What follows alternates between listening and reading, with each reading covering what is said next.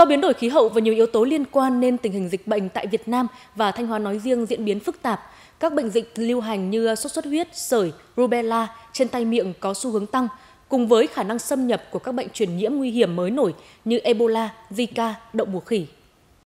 Để chủ động ứng phó với những thách thức về dịch bệnh năm 2024, Sở Y tế tỉnh Thanh Hóa yêu cầu hệ thống y tế dự phòng củng cố nâng cao năng lực của hệ thống phòng chống dịch từ tỉnh đến địa phương, xây dựng kế hoạch đáp ứng với từng tình huống dịch bệnh, chuẩn bị đầy đủ vật tư hóa chất, thuốc, trang thiết bị, cơ sở vật chất sẵn sàng cho phòng chống dịch bệnh, tăng cường truyền thông, giáo dục sức khỏe, phổ biến kiến thức về các biện pháp phòng chống dịch bệnh cho nhân dân, tăng cường xã hội hóa, vận động nhân dân chủ động phối hợp và tham gia các hoạt động phòng chống dịch bệnh tại địa phương, phối kết hợp với hệ thống lâm sàng để giám sát chặt chẽ các ca bệnh, sử dụng tốt phần mềm giám sát quản lý bệnh nhân, sẵn sàng thu dung, cách ly điều trị bệnh nhân, tăng cường vai trò trách nhiệm của Ủy ban nhân dân các cấp trong công tác phòng chống dịch bệnh.